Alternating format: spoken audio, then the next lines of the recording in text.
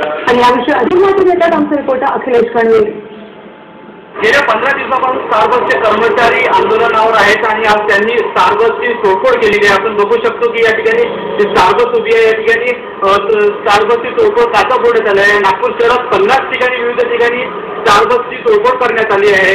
स्टारबसचे कर्मचारी bus driver आणि conductor यांची मागणी होती की निलंबित कर्मचाऱ्यांना कामावर परत घेण्यात यावं. आणि पुन्हा त्यांनी मागणी केली होती की आपलं वेतन जे आहे वेतन अतिशय अल्प स्टारबक्स व्यवस्थापनाकडून मिळते. ते अल्प वेतन आपल्याला वाढीव वेतन देण्यात यावं यासाठी आज सार्वजच्या कर्मचाऱ्यांनी तोडफोड केलेली आहे. सहाशे कर्मचारी हे सार्वजाची आंदोलन करत आहेत सार्वजच्या व्यवस्थापनाविरोधात आपल्यासोबत सार्वजचे कर्मचारी आपण त्यांच्याशी बोलूया.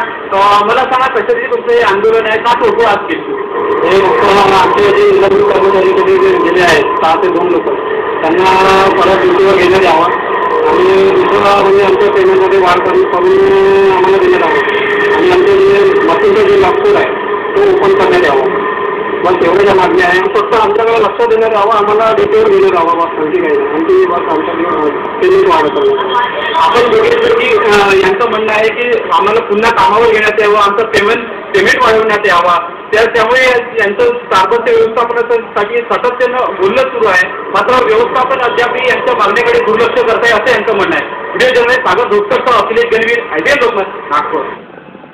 आणि संध्याकाळच्या बातम्यांमध्ये आता घेऊया एक ब्रेक आणि ब्रेक नंतर बघूया.